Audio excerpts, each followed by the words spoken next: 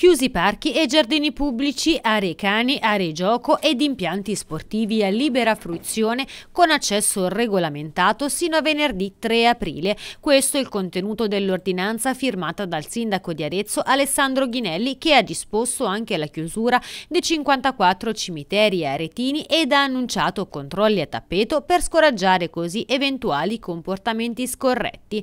Ai principali parchi cittadini recintati già chiusi si aggiungono così anche tutte le aree pubbliche con accesso regolamentato. Le aree verdi del comune di Arezzo prive di cancelli e recinzioni saranno invece oggetto di controlli specifici, sempre nell'ottica di evitare assembramenti e contatti ravvicinati tra le persone.